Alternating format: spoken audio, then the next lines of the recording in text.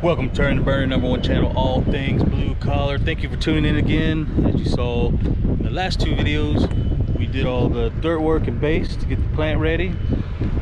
We threw all the electrical and water lines in the ground and we are off and running, erecting the plant. You see we got the crane, we got everything unloaded over there. And I'm gonna take you along and show you a little bit, kind of step by step the best I can, how you put up a batch plant so uh, stay tuned.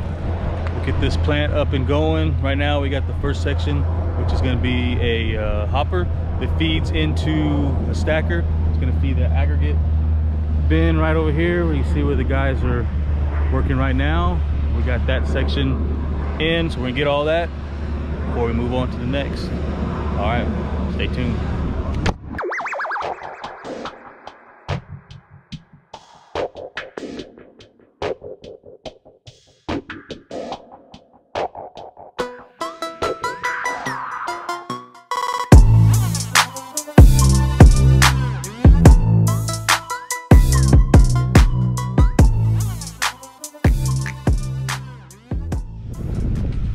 as you can see we got all our parts and pieces laid out and staged ready to go up.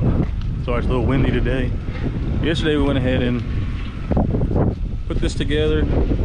First step is putting these legs getting everything squared up anchored down. We stuck the conveyor in there. It's not in place yet but stuck it in there. And then went ahead and and stack this up and that's what we're waiting on. Uh, once the crane guy gets here we're going to keep on stacking. We'll have two more sections that go up above that and that'll complete this.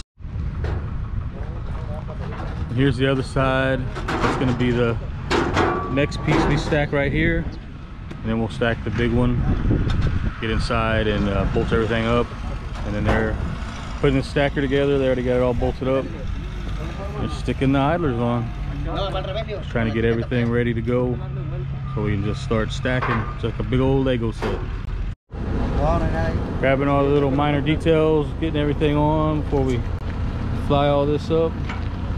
Pull the conveyor belts on next and set this tomorrow. No, I'm not a writer. Okay.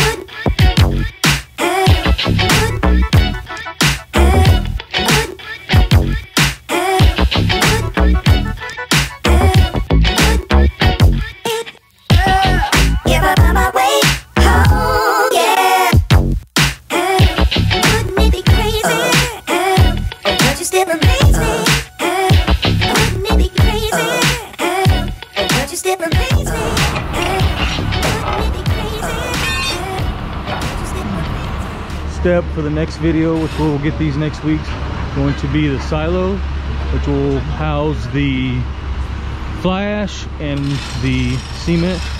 So that'll be the next video. Hopefully I can get some better footage than I did on this one, but it's gonna stack up right here. So we're gonna go ahead and uh, finish up, get that conveyor in the way and then uh, kind of tying in all of our loose ends and stuff like that from there. And then we're gonna head on out there. So uh, we're not gonna drag up, we're gonna roll on into the next video. Till next time, everybody, thanks for watching, peace.